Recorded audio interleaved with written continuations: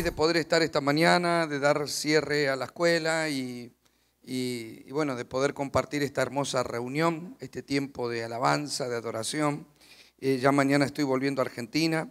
Ha sido muy bueno el Señor en esta, en esta gira poder estar en México compartiendo con los apóstoles aquí, todo el equipo apostólico, este, viviendo eh, los momentos hermosos que vivimos, no solo de impartición divina, sino también los momentos de intimidad, de charlas y de compartir tiempos que realmente eh, son de un alto valor para mi vida. Así que agradezco mucho a Dios, les agradezco esta invitación y agradezco a todos el, afecto, el cariño, el saludo.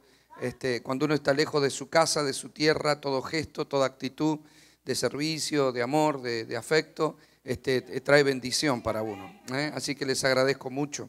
Realmente esta tierra me ha recibido bien. ¿eh? En verdad, creo que... Creo que la, la, tierra reconoce también cuando uno quiere bendecirla, ¿sí? Eh, entonces es propicia y bueno, agradezco eso. Bueno, vamos a compartir la palabra del Señor. Yo quisiera que podamos yo sé que está totalmente dispuesto, pero quisiera que podamos hacer una oración más y que le ofrezcamos a Dios nuestro corazón como un lienzo donde Él pueda plasmar todo lo que Él determine, ¿sí? Que Él pueda encontrarse esta mañana sin fortalezas, sin altiveces y que si alguna hay, que la pueda derribar para que pueda establecer Él en nosotros sus pensamientos. Señor, gracias te damos, papito, en esta mañana por tu amor, agradecemos, Señor, tu misericordia tu bondad. Agradecemos, Señor, estar aquí, no en otro lado. No creemos, Señor, en las casualidades, creemos en las causalidades, creemos que hay un motivo, una causa por la cual tú nos has traído esta mañana y te pedimos que tú nos hables, que tu precioso espíritu oficie de maestro, penetrando hasta lo profundo de nuestro corazón, trayendo revelación, luz, entendimiento de tu palabra, de tus principios, Señor. Queremos aprender, queremos ser posicionados, queremos ser elevados, Señor, a las dimensiones de tus planes para esta generación. Señor, creemos que tú lo vas a hacer, porque te lo pedimos en el nombre de Jesús, porque creemos que todo esto ya estaba en tu agenda divina. Gracias te damos, papito, en el nombre de Jesús. Amén. Amén. Si usted lo cree, dele un aplauso fuerte al Señor. Bendígale al Rey de Gloria. Gracias Jesús. Saben, mis amados, yo tenía el compromiso, tengo el compromiso de hablar sobre el carácter que identifica el reino. Y, yo tenía, por supuesto, antes de, toda actividad, siempre procuro preparar, sobre todo cuando es una escuela, tomarme el tiempo, preparé en Argentina los talleres, las cosas que iba a dar y varias de las cosas que tendría que haber dado me las modificó. ¿sí? Yo creo que más allá de todo lo que uno prepara, está bueno que Dios pueda decir lo que Él quiera decir, ¿verdad? Y bueno, yo anoche estaba totalmente tranquilo, cuando vine ya tengo el mensaje para mañana, hasta la noche, ¿no? Porque a la noche me acosté y sentí que me lo sacó. Entonces dije, bueno, ¿eh?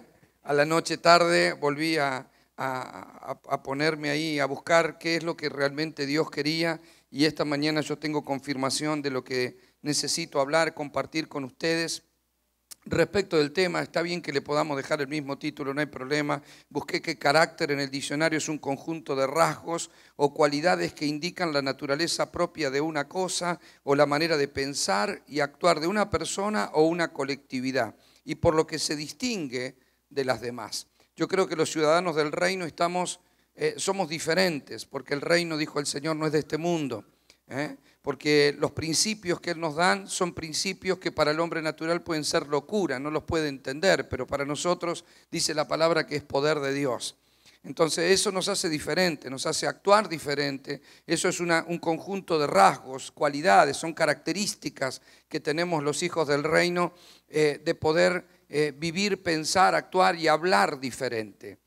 Eh, claro, también venimos de un tiempo eh, en la iglesia de una subcultura evangélica que también plasmó una manera de hablar, de saludar, de pensar y de actuar. Pero era, este, muchos de esos patrones, muchas de esas características tenían que ver con la religiosidad, tenían que ver con este, una subcultura eh, de compartir y, modismos y, liturgias, pero yo creo que en este tiempo la iglesia está en otra dimensión, por lo menos aquí me es grato saber eso y sentir que de pronto soy entendido y que tengo una plataforma para poder elevarme a ciertas cosas y yo sé que aquí la gente entiende... Eh, el reino de los cielos, la dimensión espiritual, pero eso también forma una característica diferente. Ya donde no te entiende no solo el hombre natural, tampoco te entiende el religioso. ¿Ve? O sea, porque nos comportamos de otra manera, hablamos, pensamos con otra manera de pensar, otra manera de hablar, otra, otra actitud ante las cosas. Pero hay un grado, yo creo que, de madurez en donde uno no solo toma los conceptos, las enseñanzas que se le han dado, sino que hay un día que el Padre este, de pronto te habla de sus, de sus dimensiones serias, de dimensiones en donde la emoción queda de lado y donde tenemos que funcionar por el entendimiento de algunas cosas con el Señor. Hay, privilegios que tenemos como hijos, como herederos. Entonces Dios nos da, Dios nos bendice, hay reclamos, hay restauración, hay restitución, hay todo, todo un obrar de Dios divino que tiene que ver con su gracia, que tiene que ver con su favor, que tiene que ver con, con lo redentivo que tiene que, eh, de meternos en la vida de Cristo. Pero hay un tiempo primario en donde todas esas cosas nos llegan y donde todo lo que nosotros venimos necesitando o, traíamos de necesidad, empieza a ser suplido, empezamos a ver el, obrar de Dios en nuestra casa, en nuestra familia, en la economía, tiempos de, de restitución, tiempos de cambio, pero en la madurez, cuando uno va madurando, uno va entendiendo responsabilidades con el Señor. Y empieza a salir de las emociones y se empieza a meter en la revelación de la palabra. O sea, hay una dimensión en la que vos te emocionás, salís y te funciona igual porque porque es parte de la fe y porque es parte de lo que uno clama y uno quiere y yo le pido y Dios lo va a hacer y vas a ver que Dios va a tocar. Y todo eso es muy bueno, muy grato. Y, yo veo que muchas veces Dios se mueve en una persona eh, de poco convertida y se mueve Dios con poder, ¿no? Eh, mostrándole, hay milagros evidentes, pero no es que tiene más fe, es que como un niño, cuando llega el Señor, lo complace, le bendice, le suelta, le da, porque le está demostrando, ¿no? Es, la misma manera cuando uno este, tiene un hijo y es pequeñito y vos le provees, le das, le das la comida, lo atendés, lo mimás, lo cuidás, le tenés paciencia y todos sus reclamos son atendidos este, muy bien. Claro, cuando empieza a crecer y a madurar, llega un momento de que usted le empieza a sacar ciertos privilegios. Tendrá otros, pero le empieza a sacar esos privilegios de dádiva y empieza como que, bueno, hacete responsable, juntate los juguetes, ¿verdad? anda a limpiar tu cuarto. No, no, no, no. Vos lo tiraste, vos lo juntás. No, ahora tenés que hacer tal cosa. No, ahora te pones. No, ahora anda para allá. Y ya, ya no es que le hacen todo, sino que tiene que empezar a gestionar la vida. ¿eh? Ya tiene que empezar a hacer cosas, empieza a actuar con responsabilidad. Aunque no le gusta, ya tiene que juntar los juguetes, acomodar su cuarto, tener que ir al colegio. Empieza a asumir roles y responsabilidades. Cuando llega a mayor madurez, las responsabilidades crecen y ya hay cosas que no son permitidas. ¿Ves? Cuando un niño va creciendo y no te ordena los juguetes, usted, bueno, hasta que aprenda, algunas veces se la va a dejar pasar y la misma mamá va a terminar juntando todo. Pero ya cuando tiene veintipico, ya, ya no es, ya, ¿verdad? Ya la responsabilidad no es la misma ya la forma de hablar no es la misma, la madurez con la que se relaciona el padre con los hijos no es la misma, y ya se le empieza a dar otras responsabilidades, por ejemplo, la llave de la casa, el, permitirle salir, pero volver a cierto horario y hacer ciertas cosas que tienen que ver con la madurez, la responsabilidad. Los hijos varones ya este, a, la edad correcta sacarán su carnet, su padre le dará la llave del auto, venite hasta la hora, llevá, trae, hace, y uno ya, ya sube a otra dimensión, ¿verdad? Ya sube a otro grado de responsabilidad hacer trámites para los padres, hacer ciertas cosas. Y yo creo eso en el reino. Yo pude ver esta mañana eh, que todo lo que ha impartido esta casa, que todo lo que han recibido, eh, en los últimos años, de todos los ministerios que han visitado y de los apóstoles y, toda esta unción profética que ha estado sobre esta casa, ha sido un tiempo de impartición, ha sido un tiempo de, establecimiento, ha sido un tiempo en donde se le han dado muchos principios. Uno de los problemas en la iglesia es de recibir principios y principios y acostumbrarse a los principios y que se vuelva normal lo que no tiene que ser normal. ¿Ve? Que yo pueda perder la emoción de lo que no debería perder la emoción. En una etapa primaria es como que uno, wow, eh, todo lo que hace el Señor, por poco que sea, como que te emociona, te conmueve, y después de un tiempo que uno ve las cosas que hace el Señor, pierden e, e, ese significado y ya no nos emociona tanto. Cuando recién nos convertimos, ver a, una persona, yo me acuerdo eh, cuando yo veía en la iglesia a alguien que pasaba y recibía al Señor, para mí era todo un milagro en vivo y en directo, ¿no? Y, después Claro, cuando llevas unos años y ves pasar a otros, se entregaron cinco, se entregaron tres, se entregaron diez, como que, se, como que bueno, ahí está, no, pasaron, pero ya no, como que no te emociona, ¿no? Y, no debería ser así, o sea, la renovación de lo que Dios está haciendo, la, valoración de las cosas que Dios ha enseñado y ha dicho, eh, ya no, eh, tenemos que activarlo, ¿verdad? No solamente decir, ah, yo ya lo escuché eso, porque yo me acuerdo cuando estuve en una escuela que fulano y el apóstol tal habló de lo mismo. ¿Ve? Y nos empezamos a acostumbrar a escuchar una y otra vez ciertas cosas y ya no nos damos cuenta, pero no solo no nos emociona, sino que no las ponemos por obra, porque ya las sabemos y no, no, no asumimos que para algo nos dio eso el Señor. ¿Ve? De hecho, eh, estar en ciertos ambientes ungidos, donde hay impartición, eh, también te generan como una costumbre de estar en ese ambiente. ¿no? Y hoy fluyó, hoy estuvo, y no, estuvo lindo. Y la familiaridad también mata la unción. Pero no la mata para el que la tiene, la mata para el que la tendría que recibir. Es decir, cuando uno está en un momento determinado, eh, en un ambiente con personas que te imparten, pero claro, cuando son de la casa y lo ves todos los días y lo saludás y compartiste y comiste y charlaste, el café, el saludo, pierde la persona, pierde la, expectativa de esa impartición que tiene que ser dada. Entonces, a mí me pasa, por ejemplo, que voy a otro lugar y yo tengo más recepción muchas veces en otro lugar que en mi propia congregación.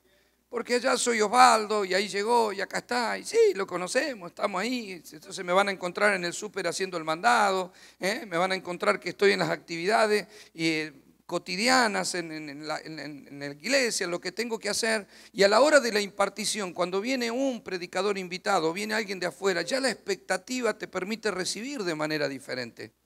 Porque la gente está como que, wow, ¿viste lo que me dijo? Y yo digo, pero si yo se lo dije un montón de veces. ¿No? Sea, si yo lo dije. Yo he invitado personas que han predicado un mensaje y dice, qué palabra que Dios, viste que... Y digo, pero si yo te di una serie, te di del mismo tema toda una serie, ¿verdad? Entonces vos decís, ¿en qué momento, o sea, tendría que, estar funcionando lo mismo? Tendríamos que tener la capacidad de renovar nuestra percepción de eso para poder ver a Dios más allá de nosotros mismos. Porque es, es el Señor el que hace, ¿ve? O sea, de hecho, usted puede, en, la familia suele ocurrir esto, entre la esposa y el esposo, ¿verdad? Que de pronto, no sé, el esposo tiene un problema y, ay, ando dolorido, ¿querés que ore por vos? No, no, llama, llama, llama a la pastora.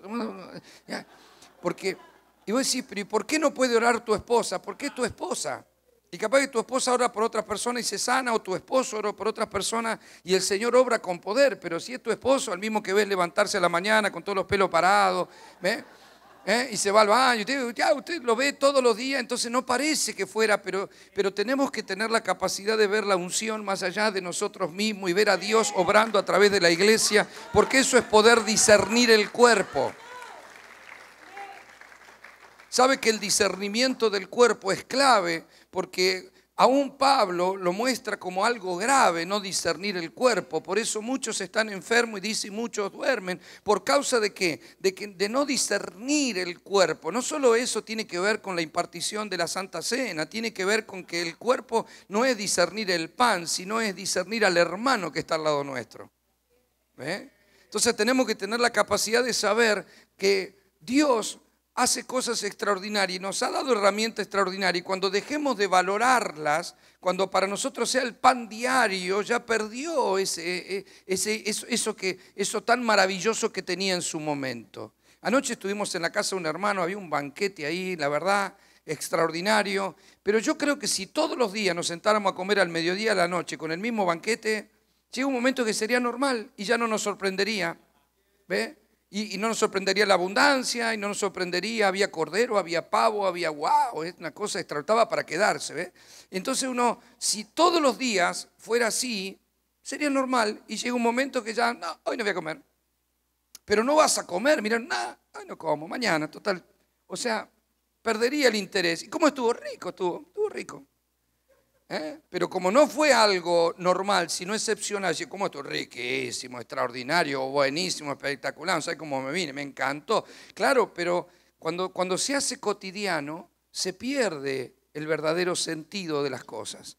Entonces tenemos que tener cuidado de no acostumbrarnos a lo que Dios está dando a esta casa a no acostumbrarnos a la visita de ministerios que en otros lugares no llegan y de la impartición que se hace continuamente en este lugar, estas escuelas que se hacen que en otros lugares no tienen y que de pronto usted lo, que está recibiendo, valorarlo, saborearlo, pero decir yo tengo que hacer algo, porque a mí Dios, al permitirme estar en estos ambientes y en estas imparticiones que vivimos y lo que han vivido en los últimos tiempos, es porque Dios te está sentando a unos niveles de responsabilidad.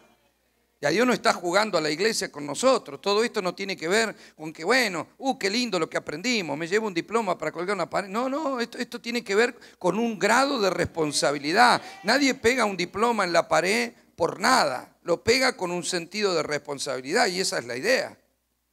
O sea, yo creo que uno de los problemas que ha habido en la iglesia eh, ha sido la falta de, tener una mentalidad de graduación, una mentalidad de llegar a las metas y de concretar cosas y ya no volver, no bajar de todo eso. Que en la vida natural pasa eso, ¿sí o no? O sea, vos terminás en la escuela primaria y pasás a la secundaria y luego vas a la universidad. Vos no querés retroceder, se supone que evolucionaste, creciste, te recibiste y que de pronto si fuiste cinco años con todos tus libros en la mochilita, fuiste y viniste, fuiste, viniste, fuiste, viniste y escuchaste a muchos profesores, la idea es que un día te den un título y no vuelvas más, porque ya ahí lo aprendí. Nosotros andamos con 66 libros que son la Biblia. ¿Eh? Muchos de ellos son epístolas, pero le llamamos los 66 libros de la Biblia. Y andamos con 66 libros. Y vamos y venimos, y vamos y venimos, y vamos y venimos. O sea, en algún lado nos tenemos que recibir de algo. O sea, hace 20 años que va y viene con 66 libros y dice, ¿de qué te recibiste? De hermanito. Pero si hermanito eras el primer día. O sea, tiene que haber una mente de alcanzar metas, de decir, yo he ¿Ve? Yo he, participado de una escuela, estoy quedando, me, ha posicionado el Señor, no puedo, no. Ahora, ¿qué significa no puedo retroceder? Y significa que mis actitudes son las que demuestran si retrocedo o no. Porque el examen que, que no se toma acá es el examen que te toma la vida. Las preguntas que no se hacen en una escuela son las preguntas que la vida te va a hacer. Quédese tranquilo. Yo le digo, no, acá no toman examen, no, porque quédate tranquilo que te lo va a tomar la vida, ¿eh? Quédese tranquilo. Y ahí es donde, usted, donde el examen no es juguete. Pues si usted tiene temor, usted cuando va a la universidad, porque vos sabés que si te toman mal el examen, si te dan mal los resultados de tu examen, te bochan, tenés que retroceder y vos decís, no, no voy a llegar al título. Eh, pero lo que la gente no entiende es que la vida también te toma examen diariamente. Y te lo toma en el ámbito en donde uno no piensa, no te lo toma acá. No te va a preguntar si te acordás un versículo, te va, te va a pedir espontáneamente reaccionar ante situaciones en la vida, con la familia, el matrimonio, las cosas. O sea, ahí donde tu reacción tiene que ser el resultado de algo que estaba dentro y se plasmó. ¿Ve? Entonces es el momento en el que tengo que saber. Yo creo que cuando un médico estudia y se recibe de doctor, o sea, luego tiene que rendir examen eh, varias veces para llegar a ser doctor, pero una vez que es doctor, tiene que rendir examen en cada consulta. Cada paciente que le entró y lo tuvo que revisar estaba rindiendo un examen. Es como que le preguntara al cuerpo del paciente, ¿qué tengo? Y él tiene que determinar qué tiene, cómo lo diagnostica y qué le receta. Y si se equivoca, lo mata. Es un examen continuo, ¿verdad? O sea que no, no puedo andar yo. Se supone que todo lo que estudié es para que cuando me llegue un paciente yo lo pueda diagnosticar correctamente, porque esto es grave. Entonces tenemos que saber diagnosticar situaciones en nuestra casa, en el matrimonio, en la familia, con los hijos. Hay que diagnosticar correctamente. Para eso sirve una escuela, para eso sirve la impartición, para eso las enseñanzas, para eso los manuales, para eso los libros, para que cuando la vida te haga una pregunta tenga la respuesta ahí.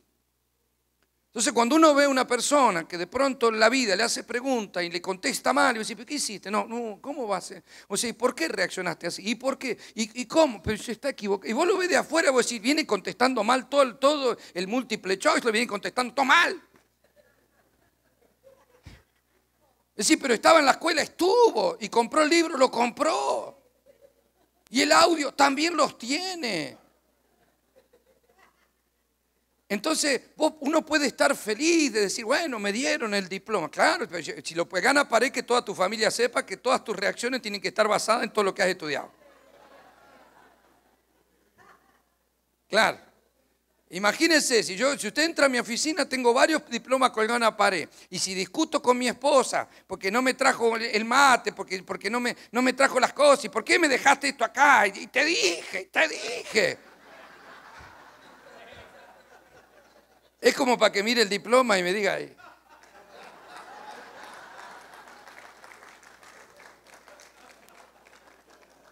¿O no?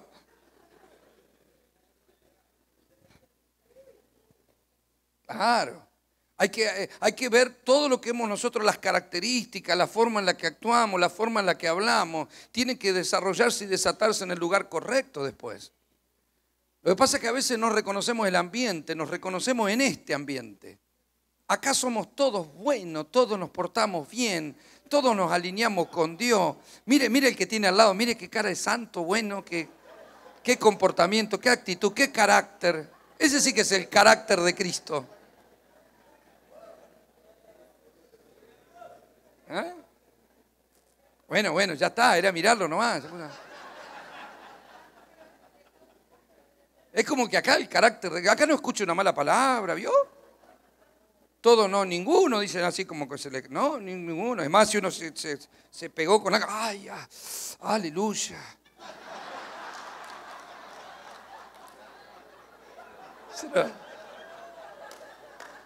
¿Y en la casa?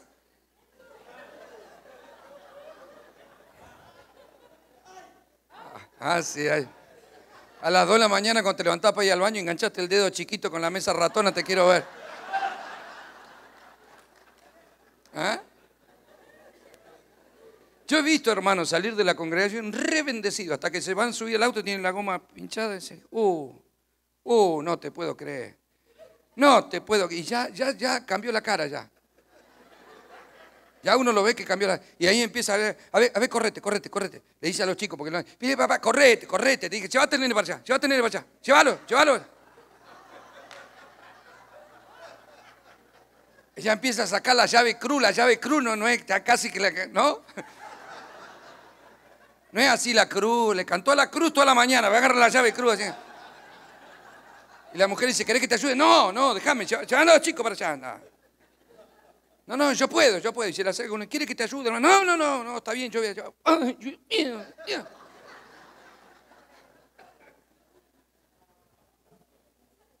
Hay que dejarlo solo, hay que dejarlo solo. Y algún hermano que en el pueblo antarioso le dice, ¿querés que lo ayude? No, déjalo solo, déjalo solo.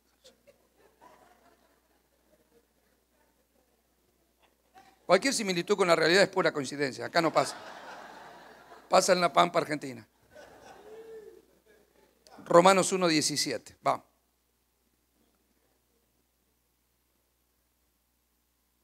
Este pasaje es tan conocido y tan significativo para todos, pero yo creo que uno de los problemas con este pasaje es el enfoque. Yo decía el otro día, la iglesia, la lucha de la vida es por la, eh, la batalla o la lucha de la vida es por la mente. Y la lucha de la mente es por el enfoque. Si el diablo te desenfoca, te, te roba, te quita. ¿sí? Entonces debemos enfocarnos correctamente. Dice Romanos 1.17, este pasaje muchos se lo saben de memoria y está bien, dice, porque en el Evangelio la justicia de Dios, diga conmigo la justicia de Dios, dice, se revela por fe y para fe, como está escrito, mas el justo por la fe vivirá. Creo que lo que más nosotros nos enfocamos en este versículo es justamente la última frase, por todo lo que significó para Lutero, para la reforma y todo eso. Mas el justo por la fe vivirá, esa la sabemos de memoria. El justo por la fe vivirá, el justo por la fe vivirá. Pero hay algo que quisiera rescatar en esta mañana, en el principio del versículo. Lo que Pablo está hablando es del Evangelio del Reino, ¿verdad? Pablo siempre predicó el Evangelio del Reino. Y en el Evangelio del Reino, la justicia de Dios se revela por la fe. Quiero que, por favor podamos analizar esto. Nosotros sabemos que Dios es un juez justo. Pero ¿por qué yo digo que la madurez y todo lo que se ha impartido nos hace responsables? Porque Dios no te pedirá aquello que no te haya dado. Al que más se le da, más se le, reclamará. Y al que menos tiene o no valora lo que tiene, aún lo poco que tiene le será quitado. No hay drama con eso. Ahora, a esta casa se le ha dado mucho. Y al que mucho se le da, mucho se le exige. Y mucha revelación y mucha impartición y mucha enseñanza fue dada a esta casa. Ha sido como, eh, como dijo una vez el Señor a la congregación donde yo estoy, y yo, yo, tenía todo este conflicto, decía, Señor, ¿por qué pasa que la reacción afuera es diferente? La gente, me llegan tantos testimonios. Nosotros que grabamos todos los audios también mandamos a más de 100 radios en Argentina y hay como 10, 12 radios fuera del país que por lo menos yo conozca, más todo lo de internet, que están continuamente pasando las predicaciones. Entonces a mí me llegan testimonios, las cosas que hizo el Señor. Y yo a veces veo tantas cosas maravillosas afuera y no las veía ahí. Y el Señor me dijo, el problema es que ellos han tomado este lugar como una panadería. Acá se elabora el mejor pan y se exporta, se manda el pan para todos lados, pero a veces el que está en la panadería es el que no lo come. Y vos decís, pero no come el pan calentito cuando sale del horno. No, está acostumbrado todos los días. Y si encontrás alguno en una panadería que está así, es porque lo come, pero ya porque agarró el vicio nomás. No come para alimentarse, está gordo, porque come mal. ¿Eh? Entonces, a veces pasa eso, y eso fue lo que me dijo el Señor allá. Cuando nosotros exportamos algo que Dios está dando acá y de otras naciones lo reclaman, que aquí los apóstoles les mandan a llamar de otras naciones para que vayan a impartir y, y, les llegan las invitaciones y, y, todo lo que significa que no vienen y se los cuentan todo, pero si le contaran todas las cosas que Dios hace en otro lado, usted comprendería la impartición que hay. Ahora, todo lo que se da en la casa, Muchas veces el que está en la casa, el que vive a pocas cuadras, tal vez ni siquiera vino. Decía, hermano, no fuiste. Teníamos que decir, sí, lo que pasa es que me puse a hacer cosas en casa, me hizo tarde. Y es, es, raro. Yo, yo he recibido gente eh, que ha venido de, otras tierras. Y vos decís, ¿cómo puede ser una persona viaje kilómetros para venir a escuchar una palabra, para venir... Eh, y, y, la persona que está tal vez a cinco cuadras no vino porque nos acostumbramos. Pero cuando nosotros no, somos impartidos, por tanto, y tenemos valoración de eso, el reclamo de Dios sube de dimensiones. Y, yo quisiera ponerme serio en esta mañana respecto de esto que Dios me dice esta mañana a mí. Porque Él me habló de la justicia del reino, de funcionar en la legalidad del reino. El reino no es emocional, es legal. Es una cuestión de gobierno y eso es lo que a veces no entendemos. Para nosotros fe es la emoción, fe es el deseo. Yo, estoy deseando tal cosa, yo sé que Dios me lo va a dar. Tengo una fe que Dios me lo va a dar. Mire, hay una fe natural que tienen todas las personas, que creen en un santo, que creen en una virgen, que creen en cualquier cosa, que, que tienen fe que la virgencita me va a ayudar. Nosotros no tenemos esa fe. La fe nuestra está basada en algo legal. Por eso la fe viene por el oír y el oír la palabra de Dios. No, no funciona por la emoción. Fe no está basada en lo que yo quiero, sino en lo que Dios quiere y lo que Dios me dijo. Fe funciona en la legalidad, no funciona en la emoción. Por eso es tan importante lo que se entrega, la palabra que se da, la justicia de Dios. Y de esto yo necesito encontrar el carácter legal del reino la justicia de Dios es implacable. Dios es juez, el Hijo es abogado, la palabra es la escritura. Esto no es un chiste. O sea, cuando tenemos un Dios que es juez y dice Dios es un juez justo, ¿verdad? Y que tenemos un hijo que es abogado. Yo creo que si te llega una carta de documento a tu casa y te dice usted mañana tendrá que presentarse delante del juez, quédese tranquilo, le hemos puesto un abogado. Es como para asustarse, ¿verdad? Sea, vos decís, esto, esto no es un chiste, me han puesto un abogado y me está citando el juez. O sea, a cualquiera le entra temor. ¿Qué habré hecho? ¿O no? Me tengo que presentar ante el juez. Bueno, esto pasa de continuo en el reino. En el reino, si yo pequé, abogado tengo para con el Padre a Jesucristo el justo. Esto no es, bueno, si pequé, Dios sabe, Dios sabe que yo soy así. No, no, sabe que soy así, no. Me tuvo que poner un abogado delante del Padre, alguien que bogue por mi causa, que interceda por mí, para que yo me pueda declarar culpable y pueda recibir la inocencia a través de la justicia que es Cristo. Por eso dice, Cristo es mi justificación. O sea, no es, bueno, pequé, pero Dios ya sabe. No, no, no, pequé, pero eh, la paga del pecado es muerte. O sea, hay una condena de muerte para el pecador. Por eso Cristo murió en mi lugar. O sea, yo fui hallado culpable y fui condenado. Y no solo fui condenado, fui llevado a la cruz y al tercer día resucité, porque Pablo dice que cuando Cristo murió, yo morí con él, y cuando Cristo resucitó, yo resucité con él. Eso quiere decir que hay una justicia implacable. El hombre pecó y Dios dijo, es culpable. Bueno, pero perdonalo. No, no, pero no se trata de... O sea, la justicia de Dios es implacable en el hecho de que el perdón, que, que muchos lo tienen como de gratis, el perdón costó muy caro. Porque el perdón es, el cumplimiento de la condena, no es el perdón el dejar pasar por alto una ofensa.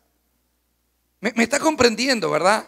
El perdón de Dios no es algo así como que, bueno, está bien, te perdono. No, eso sería de gratis. Eh, de, gratis para nosotros en la gracia, pero la gracia tiene un elevadísimo costo, tuvo para el Señor. O sea, Dios te dice, te perdono, pero te tengo que declarar culpable. Ahora, quédate tranquilo, mi hijo se hizo hombre y muere en tu lugar.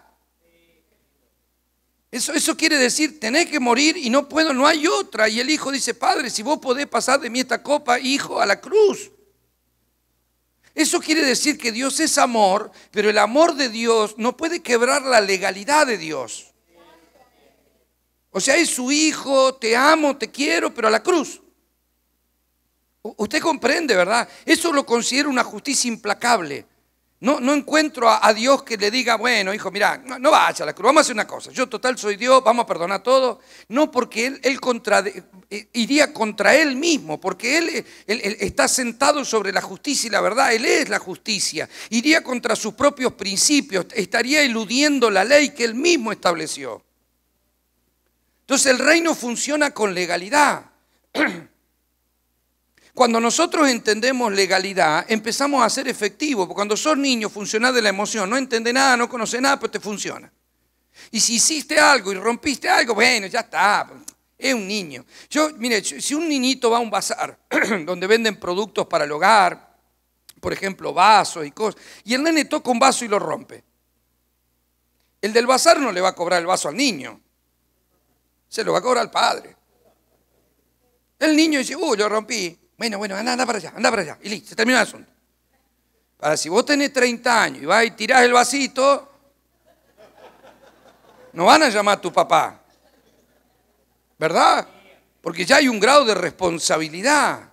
Entonces la justicia funciona y hay un, hay un perdón, hay un dejar pasar cosas cuando actuamos como niños. Pablo dice, cuando era niño pensaba como niño, hablaba como niño y juzgaba como niño.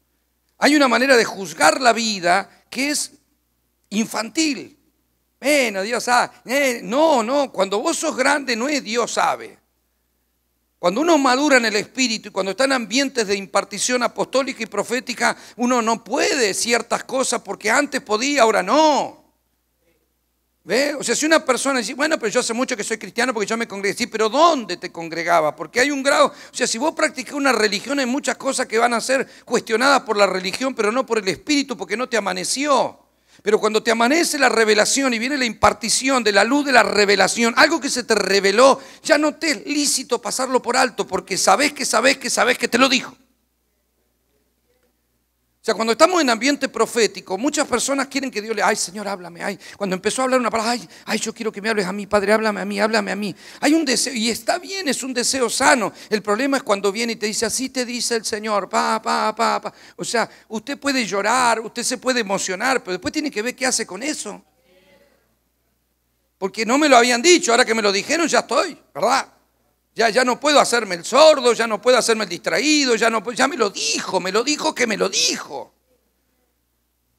Entonces que Dios te hable es extraordinario, pero tengo que ver qué hago con lo que me habló.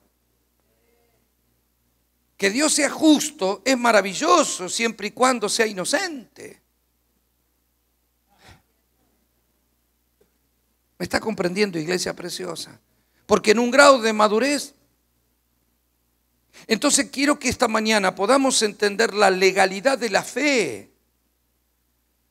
Porque cuando somos inmaduros, la fe, uy, yo creo que, y yo tengo fe que todo cambiará. Cuando uno madura, la fe está basada en la legalidad.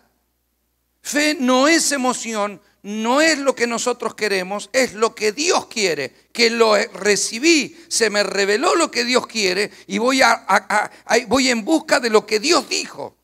Por eso la fe viene por el oír. Si no hay un oír, no hay fe. Ahora, yo puedo agarrar la Biblia, sacar versículos de la Biblia, pegarlo en la heladera, en el refri, pegarlo en la cocina, saberlos de memoria y reclamar las promesas del Señor. Pero no hay legalidad en eso.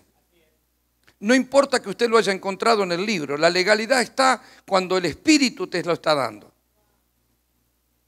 Yo no puedo levantarme por la mañana y decir, bueno, así como le dijo Abraham, tendrá un hijo, así también tendremos un hijo. O sea, si Dios te lo dijo, porque hay un momento que esa misma palabra cobrará vida y Dios te la puede decir o no. Puede ser solo letra. El versículo está ahí, Dios se lo dijo a Abraham, no significa que me lo diga a mí. Hay cosas que se la dijo a Moisés, no significa que me la diga a mí. Ahora Dios le puede dar vida a esa palabra y en un momento yo la puedo leer y puedo saber que Dios me la está hablando. Y eso va, es porque se me reveló, es como que se me hizo luz y yo lo entendí. Es más, lo voy a querer compartir con otro. Usted va a tener esta sensación alguna vez. Usted sabrá que Dios le está hablando a usted. Entonces, si mira, mira lo que dice acá, mira, sí, ya lo sé, ya lo, ya lo sé. Claro, porque para el otro no significa nada significa lo que sabe. Para usted hubo una revelación, un clic que te hizo un versículo y ese versículo quiere decir Dios te está despertando su buena palabra. Y cuando Dios te despierta la buena palabra, algo tengo que hacer con eso. Eso fue lo que le pasó a Daniel. Cuando Daniel estaba en Babilonia, ya siendo grande, porque nosotros siempre a Daniel lo vemos como un muchachito, así que está en el foso de los leones. Y cuando fue al foso de los leones tenía como 82 años, ya no lo comieron los leones de de duro que estaba. Nosotros nos imaginamos como un niño rubiecito con todos los leones al lado, y así le pintamos los... No, ya, ya estaba, ya de vuelta estaba. ¿Mm? Pero después de pasar 70, él entró como adolescente, imagínense, cuando pasaron los 70 años de la cautividad, él leyendo el libro de Jeremías, él entiende que se había cumplido el tiempo de la cautividad y el pueblo tenía que ser liberado. Y cuando usted lee Jeremías, Jeremías mismo dice, y yo despertaré mi buena palabra. Claro, y se la despertó a Daniel, y cuando Daniel se le despertó la palabra, empezó a clamar, a orar, a ayunar. O sea, el ayuno de Daniel no era para torcerle la mano a Dios ni para que Dios haga algo, es porque él entendió que el tiempo se había cumplido y si la palabra dice que se va a despertar y hoy me pongo a leer, mirá que lo había leído veces, pero hoy lo entendí, se me destrabó, entonces actúa en base a eso. No dijo Daniel, bueno, está escrito, mira, mira, está escrito, parece que 70 años nos libera todo, así que bueno, nos va a liberar seguramente, ¿no? No, él empezó a actuar porque se le despertó la palabra. Eso es fe. Fe es entendí, se me reveló, me habló el Señor, por lo tanto actúo, porque la fe sin obras, ¿cómo es? Claro. Ahora, ¿cuál es nuestro problema? Cuando nosotros nos hemos enfocado en este pasaje, sabemos que si queremos ser justos tenemos que vivir por la fe. Hasta ahí lo tenemos claro. Ahora, el problema es cuando nosotros llevamos la emoción a la fe, reclamamos, pero no, perdemos de lado la justicia. La justicia es lo que Dios habló, la legalidad de lo que Dios estableció, es lo que me trae la revelación. La fe me revela la justicia y me la revela para fe. Mire, volvamos a leer este, este, pedacito. Dice, porque en el Evangelio la justicia de Dios se revela por fe y para fe. Es por fe y para fe. Es decir, que la justicia es la que activa la fe. Pero fe es la que me fue dada para revelarme primero la justicia. Si no hay una revelación de la justicia, no hay una acción legal para la fe. Primero se me tiene que revelar la justicia.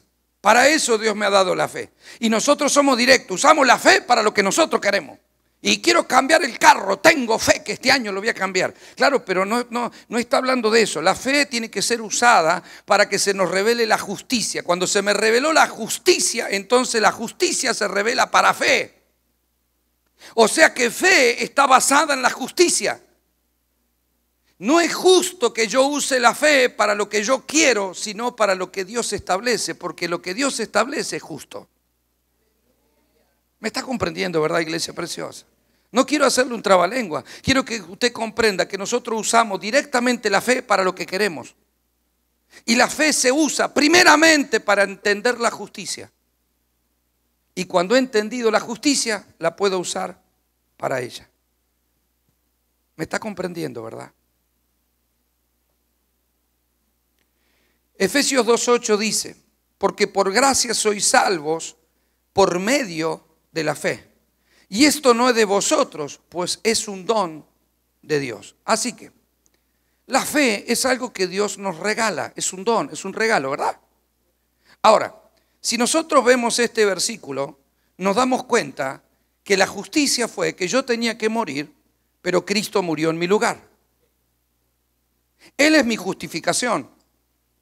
Y dice en este pasaje que por gracia soy salvo por medio de la fe. La gracia es que Él murió, no yo. Él murió en mi lugar. Yo morí con Él, pero Él, él murió en mi lugar.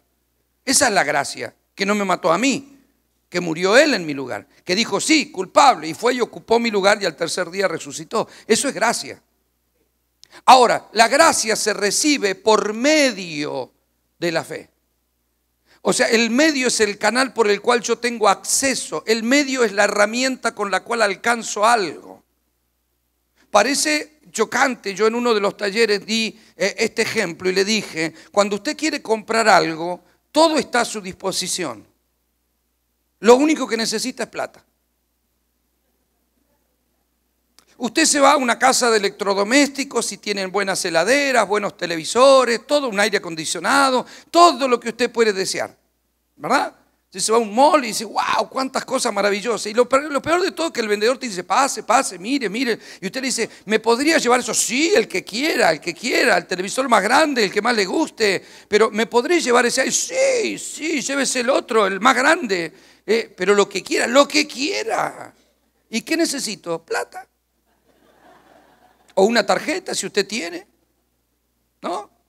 Entonces después te podés llevar todo lo que querés. O sea, el medio para alcanzar todo es la fe. Y la gracia envuelve todo. Y yo la alcanzo por la fe. Y la fe es un regalo de Dios. Dios me dio a mí el regalo. Ahora fíjese que todo lo que envuelve la gracia está basado en la justicia de Cristo. Por eso Él puede decir que todo es nuestro, nosotros de Cristo y Cristo de Dios, porque lo que viene a mi vida tiene que ver con la conquista de Él, no con la mía. No tiene que ver con lo que yo merezco, sino con lo que Él merece. No tiene que ver con el perdón para mí, tiene que ver con el perdón de Él, porque Él fue el que murió en mi lugar y Él fue el que resucitó porque la muerte no lo pudo sostener. Entonces su resurrección es la que trae vida eterna sobre mi vida. Es Cristo, yo en Cristo. Cristo es mi justificación, es mi santificación y es mi redención. No tiene que ver conmigo, tiene que ver con Él. Fe te posiciona porque entendí la justicia, entendí que soy culpable y eso me trajo convicción. Y la justicia, la fe, me trajo la gracia. Y en la gracia viene el perdón. Vamos, apláudale fuerte al Rey de Gloria.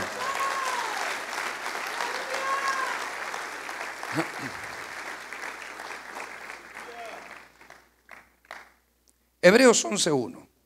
Sé que conoce eso, pero de memoria. Es pues la fe, la certeza de lo que se espera, la convicción de lo que no se ve. La palabra certeza significa conocimiento seguro y claro que se tiene de algo. Puede afirmarse que la certeza es la posesión de una verdad que se corresponde con el conocimiento perfecto. La mejor traducción de la palabra certeza es la palabra sustancia. Es algo concreto. Certeza es, estoy en lo cierto de que en este vaso hay agua. Es certeza, no es Creo que sí. No, es. Es como decir, creo que está lloviendo. Eso no es certeza. Ahora salgo, veo, me, mojo día, está lloviendo. Eso es certeza. Es algo, es sustancia. El concepto contrario a la certeza, si usted lo busca en el diccionario, en la etimología, es ignorancia. Qué tremendo, ¿no? Uno diría duda. No, no es duda, es ignorancia. Ignoro. Yo te digo, está lloviendo afuera, ignoro. No, mire, no sé, dicen que sí, pero la verdad, ignoro. Eso es todo lo contrario a certeza. Certeza es sí, ve, estoy mojado, acabo de venir de afuera. Y dice que fe es certeza. Ahora, nosotros, para nosotros fe ha sido más ilusión que otra cosa. Y yo creo, hermano, que si salgo afuera, está lloviendo, le meto el entusiasmo. No, no, no. Funciona desde la legalidad. Dios habló que va a llover, por eso en la legalidad yo estoy creyendo en lo que Dios dijo. Por eso tengo certeza de que está lloviendo, porque lo dijo Dios. Y Dios no es hombre, ni hijo de hombre, ni para arrepentirse, ni para mentir. Si Dios lo dijo, es sustancia, no es esperanza, no es ilusión, es fe. ¿Ve? Ahora, escuche bien, si Dios lo dijo y yo digo, no sé, lo ignoro, automáticamente yo estoy diciendo que Él puede estar mintiendo. Porque si yo te digo que está lloviendo, usted dice, no, dice Osvaldo que está lloviendo, pero no sé, habría que ver. Está bien, está bien, tiene todo el derecho de dudar. Pero si lo dijo Dios.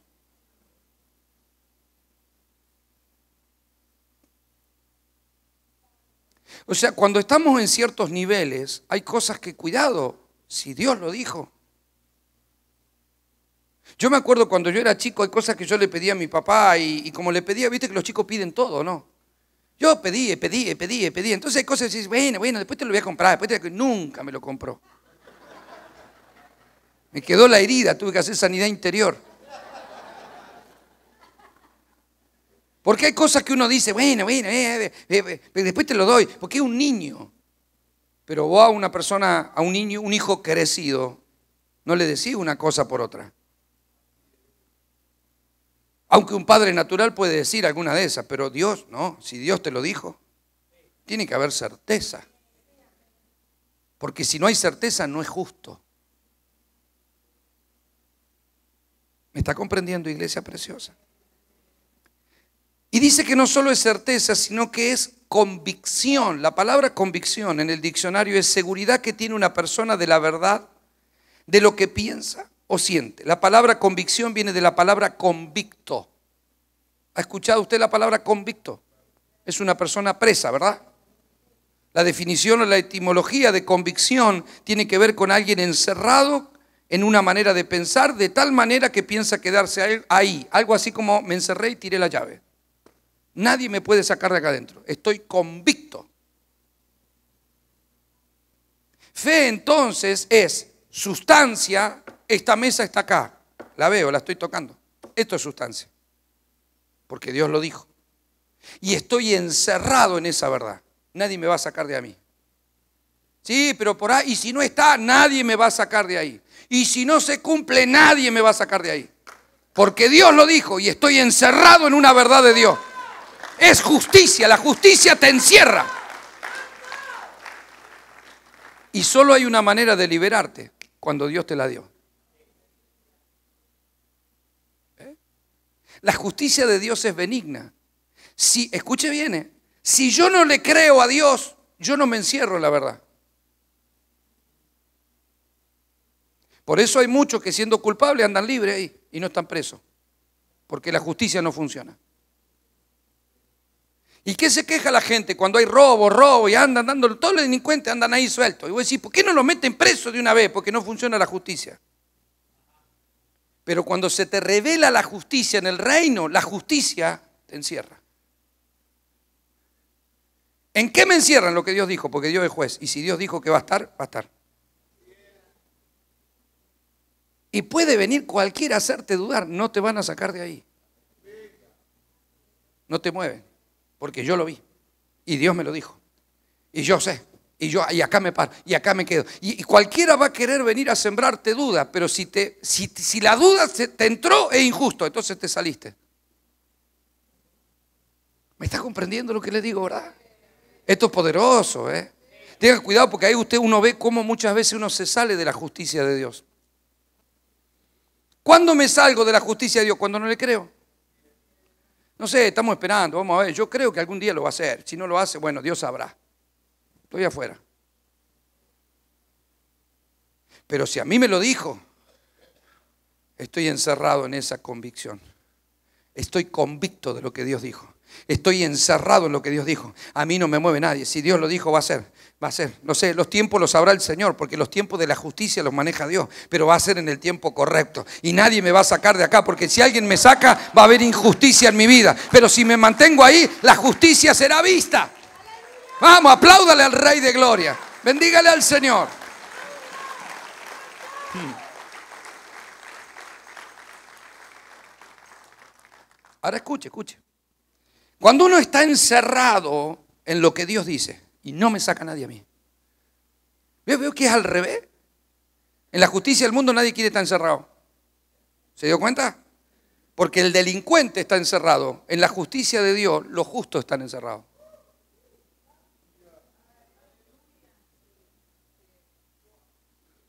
Me conviene estar encerrado en la justicia de Dios. Porque estoy atrapado en todo lo que Él tiene para mí.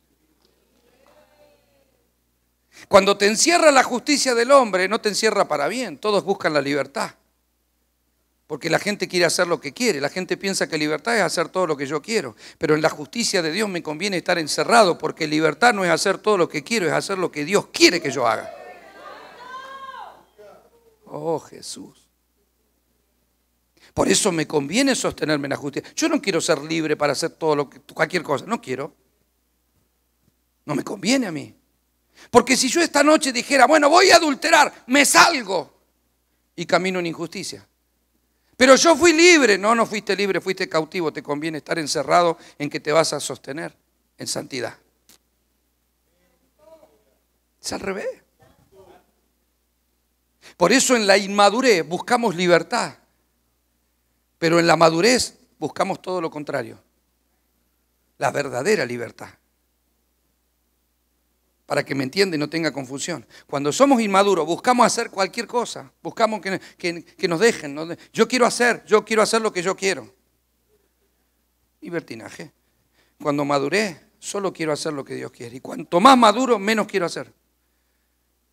No importa si es bueno, ¿eh? ya no buscas lo bueno, buscas lo correcto. Ya no quiero estar en todos lados. No, no, pero es bueno porque, porque si yo abro una iglesia acá enfrente, es bueno, o sea, no estoy, ya no estoy abriendo un casino, una iglesia, pero Dios te mandó. Bueno, no, no me dijo nada, entonces no es bueno. Listo, me quedo acá en que no voy a abrir porque Dios no me lo dijo. ¿Me está comprendiendo, verdad? Acá adentro, me quedo, me quedo encerrado en lo que Dios quiere. Me quedo, pero ojo, no quiero salir de ahí. Si yo retraso los tiempos, Dios me habló algo y digo, bueno, algún día lo haré, ya me salí. No, no, no, me quiero quedar acá. Quiero ir a avanzar en los tiempos de Dios, quiero hacer lo que Dios quiere que yo haga y la fe empieza a cobrar otro sentido, porque estando acá adentro la fe se vuelve sustancia. Porque estoy encerrado en lo que Dios habló. Y no me va a mover nadie ahí. Ahora escuche. San Marcos 11, 23. Porque de cierto os digo que cualquiera que dijera este monte, quítate y échate en el mar y no dudar en su corazón, si no creyere que será hecho lo que dice, lo que diga, le será hecho. Por tanto os digo que todo lo que pidieres orando, creed que lo recibiréis y os vendrá. Conocemos ese pasaje, ¿verdad? Ahora, este pasaje usted no lo puede desasociar de que la fe viene por el oír. Usted no puede salir afuera y decir, bueno, voy a, vamos a correr el monte para ver cómo funciona. No. La fe funciona cuando se te revela la justicia. Y justicia es que Dios te diga que corra el monte. Entonces usted va a activar la fe conforme a lo que Dios te dijo, porque es la fe revelada. Lo tenemos claro a eso, ¿verdad? Hace un tiempo escuché de un caso en la iglesia de John Quichot, de unas, de unas chicas que iban a una reunión y había habido una inundación y el río había crecido y las chicas quisieron pasar caminando sobre las aguas. Dijo, si Pedro lo hizo, nosotros también lo hicimos y se ahogaron las tres. Y todo eso fue un golpe para la iglesia. Pero el Señor le habló a John Quicho y le dijo, la fe no es para funcionar como uno quiere. Es para funcionar porque si no es injusta. Es vanidad. Yo no puedo agarrar una víbora y decir, ves, te pica una víbora, no te hace nada, mire, mire, mire. No, porque tenés cuidado, porque Dios no te dijo. Ahora, si Dios te dijo, hace lo que Dios te dijo. Si Dios te dijo que camines sobre el agua, camina sobre el agua. Pero si no te dijo, te vas a hundir. Si Dios te dice que corras el monte, vas a correr el monte. Pero Dios te lo tiene que decir. Estamos claros en eso, ¿verdad? Ahora, mire otra versión del mismo pasaje, los últimos, el último versículo. Versión, por ejemplo, le voy a leer dos o tres versiones. Mire, versión lenguaje sencillo, mire. Les aseguro que si tienen confianza y no dudan del poder de Dios, todo lo que pidan en sus oraciones sucederá. Si le dijeran a esta montaña, quítate de aquí y échate en el mar, así sucedería. Solo deben creer que ya está hecho lo que han pedido. Ya está hecho lo que han pedido. No es que lo va a hacer, ya está hecho. En el reino ya está hecho. Versión nueva, versión internacional. Pero les digo, último versículo, pero les digo, crean que ya han recibido todo lo que están pidiendo en oración y lo obtendrán. O sea, crean que ya han recibido. Crean que ya han recibido. Entonces lo tendrán. Otra versión, Biblia Castilla. Pero os digo, todo cuanto pidáis en oración, creed que ya lo habéis obtenido y se les concederá. Escúchete, Dios habla hoy. Por eso digo que todo lo que pidas en oración, creed que ya lo habéis conseguido y lo recibirás. En otras palabras, como Dios lo dijo y todo lo que dijo es.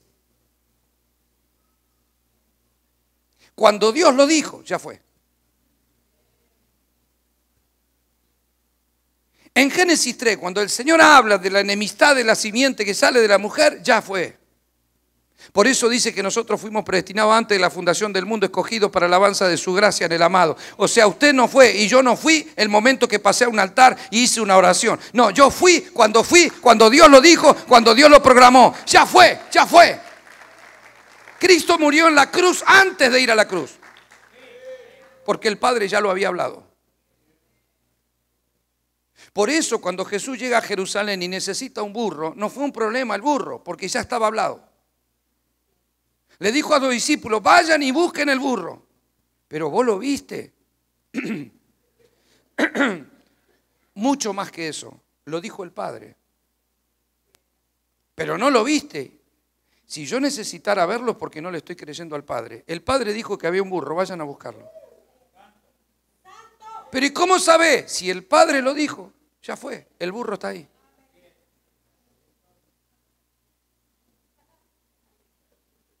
No es que, uy, el padre dice, están pidiendo un burro. A ver, alguno que me busque. Manda un ángel que busque un burro. No, el burro ya está. El burro ya está. Porque cuando Dios dice algo, lo que dijo fue hecho por la palabra. Por eso cuando usted está en una unción profética y recibe una palabra, lo que recibe ya está hecho. Solo tiene que alcanzarlo. ¿Lo cree? Lo va a alcanzar. Porque estoy encerrado en lo que Dios dijo. No puedo cambiar eso. Porque si lo cambio, peco. Y el justo por la fe vivirá. Eso es el justo por la fe vivirá. No es justo porque no, yo tengo fe, voy a comprar. No, no, no, no se trata de eso. El justo por la fe vivirá es que le creí. ¿Por qué Cristo fue justo? Porque creyó todo lo que dijo el Padre. Por eso no pecó, porque pecado es caminar contra la voluntad del Padre. ¿Cuál fue el problema de Adán? Que el Padre dijo, de esta fruta no comerá. ¿Le creyó? No, eso es pecado. Pero si él hubiese creído, el justo por la fe, vivirá. Entonces, no comer la fruta era una cuestión de fe. Pero él se salió. Él que tendría que haber quedado convicto a lo que Dios dijo. Si como la fruta moriré, yo de acá no salgo. Y todos estaríamos bárbaros. Pero ¿qué hizo él? Salió. ¿Me está comprendiendo, iglesia preciosa? El diablo es mentiroso. Toda mentira es injusticia. Dios es justo, toda su palabra es verdad. Por eso la fe no es algo que va a pasar, es algo que ya fue. Cuando Dios le habla a Abraham, en el capítulo 4 del libro de Romanos, recuerda esa historia, dice, por ejemplo, verso 18, que él creyó en esperanza contra esperanza, para llegar a ser padre de mucha gente conforme a lo que había dicho, así será tu descendencia, y no se debilitó en la fe al considerar su cuerpo, que estaba ya como muerto, siendo de casi 100 años, o la esterilidad de la matriz de Sara, tampoco dudó por incredulidad de la promesa de Dios, sino que se fortaleció en fe, dando gloria a Dios. Plenamente convencido de que era Dios, de que era también poderoso para hacer todo lo que había prometido, por lo cual su fe le fue contada por qué? Justicia. Por eso le funcionó. La fe basada en el deseo del hombre y en la emoción es injusta. La fe te tiene que revelar primero la justicia. Porque cuando te revela la justicia, la vas a sostener para alcanzar todo lo que Dios habló. Lo dice no solo acá, lo dice en Santiago 2. La fe le fue contada por justicia. Hermano, yo quiero que entienda, escuche bien, escuche bien.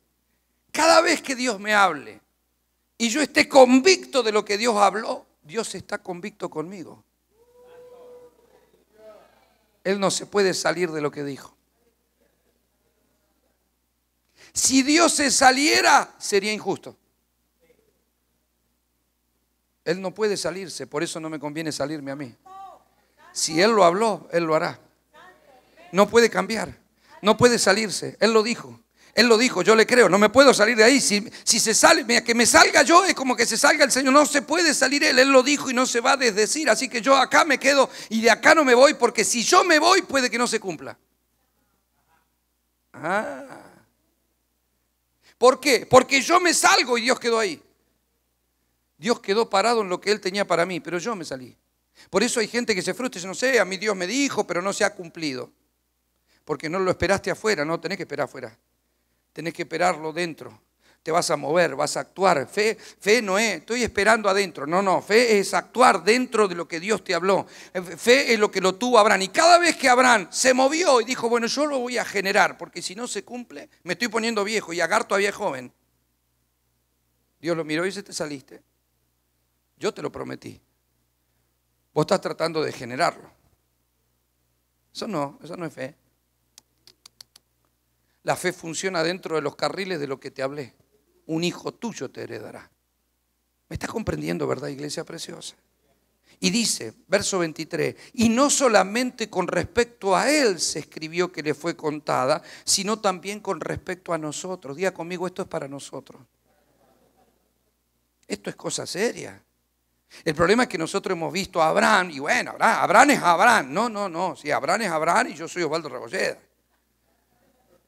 Y usted póngale su nombre y apellido. Y Dios tiene un trato especial, un tiempo especial, una palabra especial y todo lo que Dios está generando. Yo entiendo que Dios conmigo tiene algo, con lo que Él ha hablado, con una palabra que escucho, con un libro que me compré, con una enseñanza que escuché. Todo eso a mí me compromete, me compromete, me va encerrando en los carriles de Dios, pero me va llenando de su abundancia porque la gracia está dentro de la verdad de Dios. La gracia y todo lo que Dios ha preparado para mí, todo mi propósito está ahí adentro, me va encerrando y quiero, quiero ser encerrado en Dios, quiero ser encerrado en Cristo porque eso trae todo lo que tiene Cristo para mí. Cuanto más me encierro, más libre soy, más alcanzo, más tengo. Usted lo ve a Jesús, que no hizo todo lo que podría haber hecho por cualquier... No, no hizo. Yo dijo, para una cosa he nacido, para una cosa he venido, para hacer la voluntad del que me envió.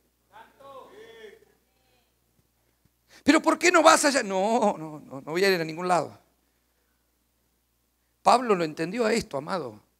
Si se nos revela, Pablo, ¿sabe cómo lo entendió? ¿Sabe lo que llegó a decir Pablo? Yo soy esclavo de Cristo. Ah, porque el Evangelio liberta. Sí, sí, sí, pero soy libre, pero libertad sin estar atado a una verdad suprema no existe. Pablo lo entendió. Pablo dice, a mí, mire lo que llega a decir Pablo. Si predico el Evangelio de buena voluntad, bienaventurado seré. Y si no tengo ganas, lo tengo que predicar igual porque la comisión me ha sido encomendada.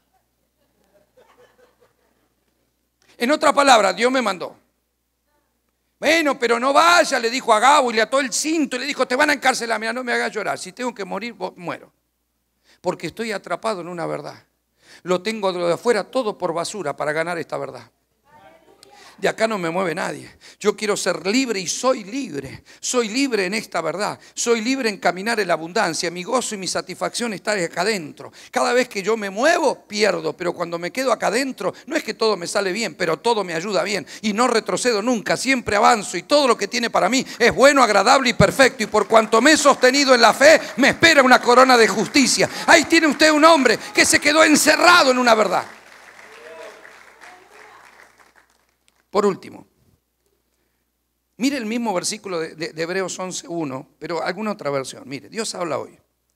Fe es la firme realidad de las verdades que se expresan, la prueba convincente de lo que no se ve. es una realidad, diga conmigo, es una realidad. Por ejemplo, cuando nosotros oramos por un enfermo, oh Señor, sánalo. Pensamos que es algo que Dios tiene que hacer. Es algo que Dios ya hizo hace dos mil años en la cruz. Por eso la Biblia dice que por su llaga fuimos, fuimos nosotros curados. ¿Me está comprendiendo, iglesia preciosa? Si Él tuviera que hacerlo de vuelta y tendrían que latigarlo otra vez, otra vez para ver si hace algo hoy. Y cada vez que un pecador se arrepiente, otra vez tendría que morir en la cruz. Fue una vez y para siempre. Por eso dijo, consumado es. Acaba de llegar la verdad a la cruz. Y la verdad se hizo eterna en la resurrección. Así que cuando usted se para dentro de una verdad, lo que usted reclama es justo. Bueno, pero yo lo haré a algunos y no se, no se sanaron. Es que cada vez que nos pongamos más sensibles al Espíritu, no vamos a orar por todo, vamos a orar por lo que Dios dice que tenemos que orar. ¿Y por qué? Porque Dios dijo. Yo lo vi a Jesús a través de la escritura, por supuesto, pero lo vi. Ir al estanque de Bethesda y dice que estaba lleno de enfermos. Y oró por uno. ¿Sí o no? Ahí llega, el evangélico pentecostal y se para en la punta de la... No, hermano, todo, todo, todo. ¿eh? ¿Cuántos tienen fe? Levante la mano, todos serán sanados, todos serán... Ya, mete por la duda. Jesús se acercó a uno y después le dijo, no diga nada, agarra tu lecho, anda nomás tranquilo. ¿Por qué no lo sanó a todos? No me toca a mí. Sí. Pero ¿y por qué se murió fulano? No me toca a mí. Dios es justo, es lo único que te puedo decir. Y sé cuando sabe que Él hace las cosas cuando las tiene que hacer. Todo lo que hace, lo que hace Dios es bueno, es agradable y perfecto. Todo lo que es malo es lo que pasa fuera de su voluntad. Pero cuando te sostenes dentro de la voluntad de Dios, aún situaciones de adversidad, Dios permitió que dentro, encerrado en la verdad, a Pablo lo abofeteara un emisario de Satanás.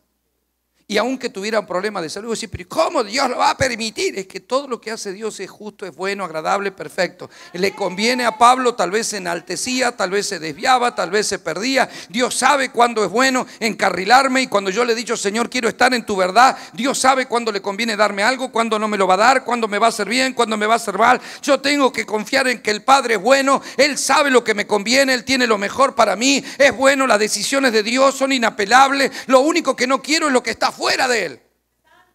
No quiero que me vaya mal, ni quiero que me azote un espíritu por desobediente, por injusto, por estar en el lugar equivocado.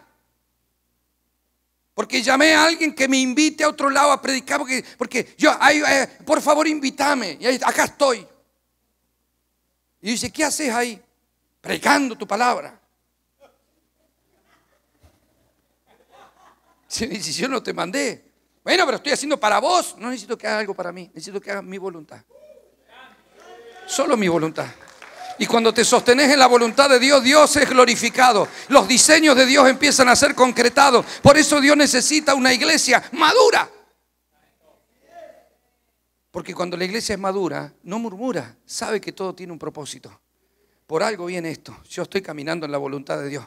Yo tengo que superar esto porque, porque yo sé que a donde voy, Dios, tiene lo mío. Y yo estoy encerrado, estoy convicto a una verdad de Dios. Es una realidad lo que a mí Dios me dijo. Vos no lo ves con tus ojos, pero es una realidad. Mire lo que dice la versión lenguaje sencillo. La fe es la escritura de lo que se espera. El título de propiedad.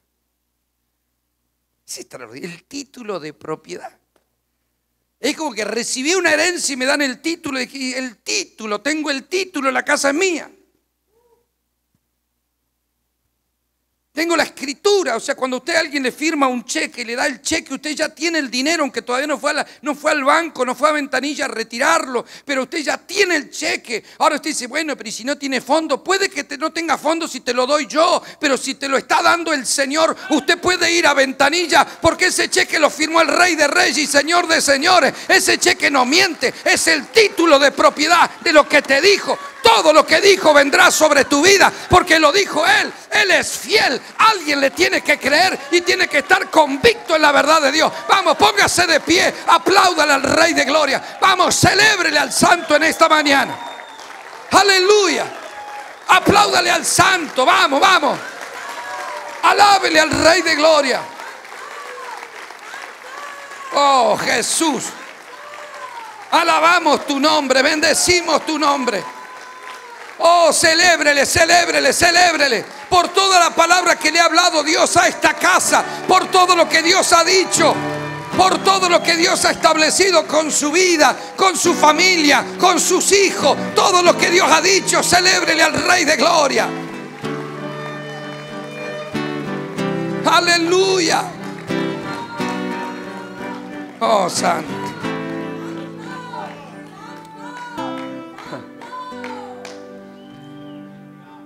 Nueva versión internacional. Fe es la garantía de lo que se espera en la certeza de lo que Dios habló.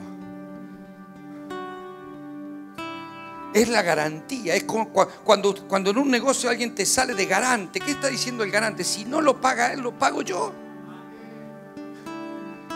Y si no lo paga el garante, pero es Dios. Por eso él le dijo a Abraham, te lo juro por mí mismo, porque no buscó y no encontró otro para que yo, por mí mismo te lo juro que lo haré. Dios está comprometido con su palabra. Dios es Dios, no puede decir una cosa y hacer otra, no puede. Somos nosotros los que decimos amén y a veces hacemos otra. Pero si yo hago lo que Dios dice y espero donde Dios dice, no hay otro resultado. Hay un solo resultado y es ver la gloria de Dios en lo que Él habló, en lo que Él estableció para esta casa, para tu vida, para tu familia. No hay otro resultado, no hay otro resultado. Sí, pero Dios le habló que iban a entrar a la tierra y no entraron. Por desobediente.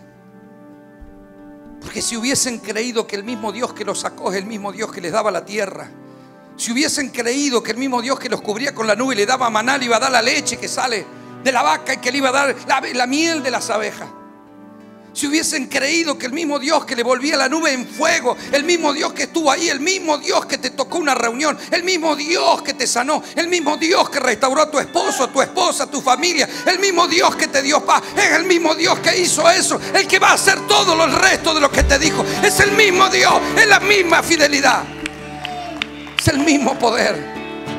Alguien le tiene que celebrar al Señor esta mañana. Aleluya. Oh, santo.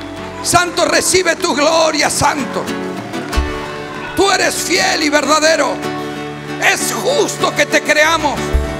Es justo que nos encerremos en lo que has dicho y que nadie nos pueda mover de ahí. Oh Rama Taramasaya. Oh Santo, Santo, Santo, Santo. Santo amado. Santo amado. Mire, en este momento, amado, piense en aquellas cosas que Dios ha hablado los últimos tiempos. En las cosas que Dios te ha dicho sobre tu casa y referente a tu familia, tu vida, tu economía, a tus cosas, la palabra que Dios te ha hablado. Vamos, piense ahora, piense en las cosas que Dios le dijo. Porque esas cosas que Dios te dijo, enciérrate ahí. Si has dudado, si has tenido temor, si has detenido tu marcha, Dios, Dios es justo, mi amado. Y si Dios te lo dijo, Volvete a meter en la palabra, volvete a encerrar en la revelación de lo que Dios habló. Porque es tiempo de estar ahí adentro, es tiempo de creerle al Rey de Gloria. Mire, no hay mayor honra para un rey que le podamos creer. Para un padre que le digamos, papá, te creemos, te creemos. Te creemos, Señor. Queremos ser hijos maduros y meternos en tus negocios. Te creemos, Padre. Al igual que Jesús.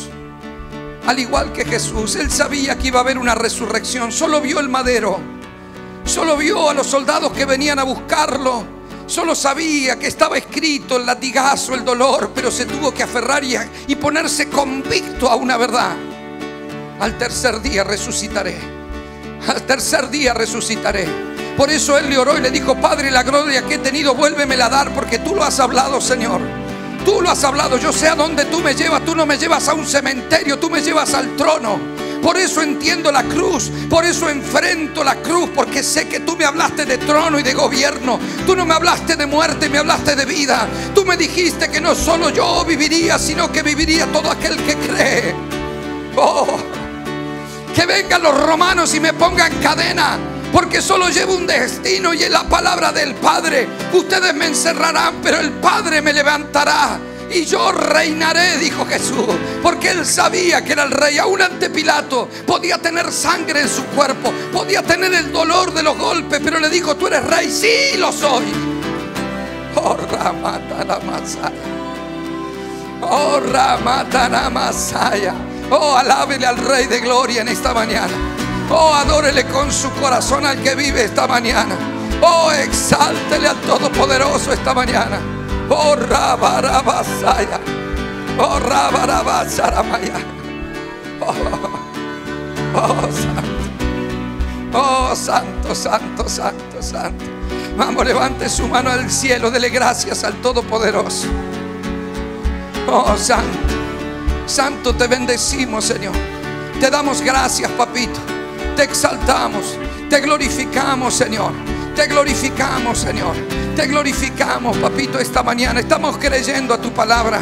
Estamos creyendo tu palabra, Señor, en esta mañana. Vamos a terminar alabándole al Rey de Gloria. ¿Sabe, mi amado? Yo siento esta mañana que algunos de ustedes van a ser movidos a dar una ofrenda al Rey de Gloria. Usted sabe que sabe en el Espíritu cuando algo se suelta. Le pido permiso, apóstol. Le pido permiso. Yo siento en mi espíritu que hay gente que tiene que volver a encerrarse a la palabra y decirle, Señor, te creo. Yo le pido que alguien tenga las canastas, que me ayude aquí. Yo sé que esta mañana será una mañana porque es una mañana de impartición, pero vamos a terminar adorando al Rey, diciéndole, Señor, te creemos. Padre, estamos estableciendo en pacto lo que tú has hablado. Señor, te ofrendamos. Así lo hizo el Hijo, así lo hizo David, así lo hicieron los hombres y mujeres de fe, así lo hizo Abraham. Le dijo, Señor, te pacto mi hijo, porque tú me hablaste de hijos como las estrellas del cielo. Quiero que sea contado como justicia, que el único que te lo tengo, te lo doy, porque vendrá del cielo todo lo que tú has hablado. Vamos, alábele al Rey de Gloria, bendígale al Señor.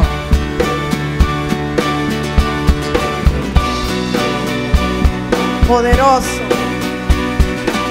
poderoso eres Dios y poderosa es tu palabra. No determinamos a encerrarnos en ella, a declararnos convictos de tu verdad y en tu justicia, ejercer la fe con legalidad. Gracias Dios.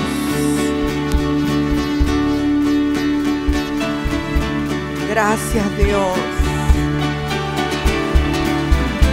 Oh.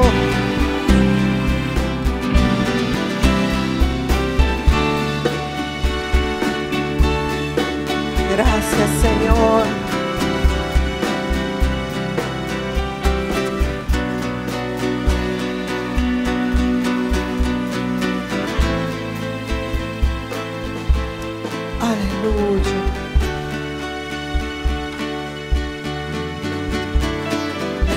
Jesús.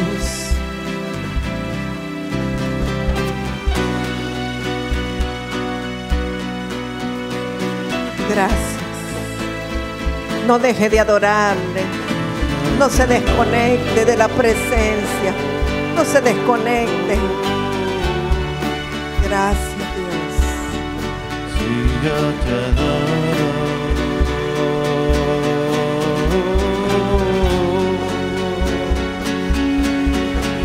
No me pagaste conforme a mis rebeliones,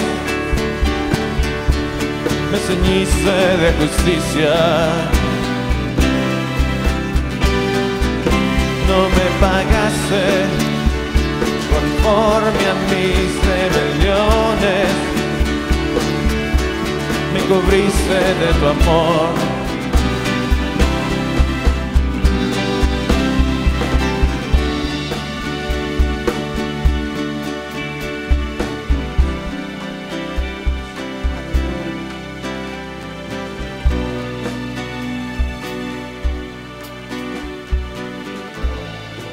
Padre bueno,